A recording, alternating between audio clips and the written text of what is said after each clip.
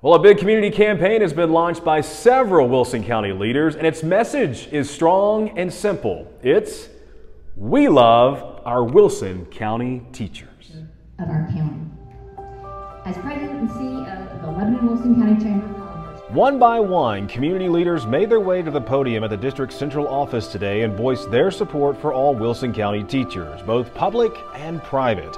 The message of support has been put on a sign, and the hope is that they will be placed prominently on many residential yards and business properties within the coming weeks. We've all heard the stories of, the issues and the, the trying times they've encountered in the last three years. But folks, I'm going to tell you that there's not a better group of people that are equipped to handle that because they deal with trials every day. In an era where tornado turmoil and pandemic problems has caused plenty of headaches in recent years within Wilson County, the show of appreciation for the county's most valuable employees is as high as ever as we get set to start a new school year in two weeks. It's so good to see everybody come together from all ends of the county and uh, all with the same common goal, and that's to let our, know our teachers are valued, they're appreciated, and we love them and we appreciate everything they do every day. This initiative started late last year and was brought to the table by Wilson County Director of Schools Jeff Luttrell. He wanted local Chamber of Commerce's and the Everyone's Wilson organization to consider and hopefully get on board. They did in an instant.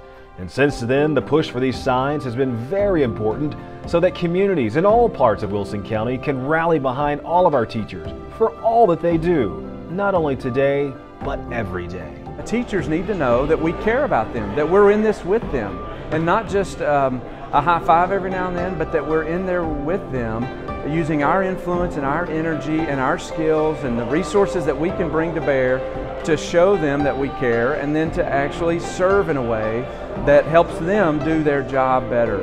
And uh, they're all bringing their A game every day. The level of energy and expertise and, and creativity that they bring is amazing, uh, but they're asked to do a lot.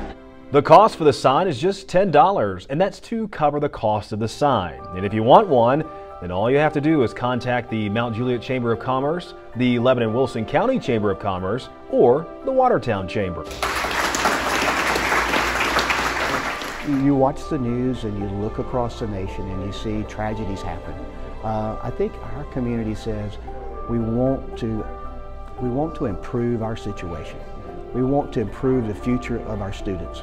Uh, we want to live in a good place. And we want to do all we can to make this the best place to be. And as we said earlier, you know, the number one people move here is education.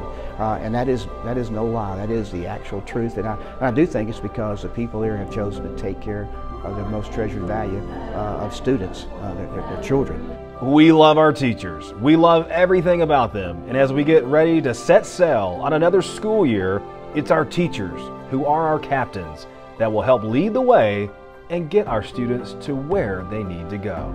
This is the result of a lot of people working together. As we kick off the new school year, we want every teacher in Wilson County, public, private, Lebanon Special School District, to know how much we care.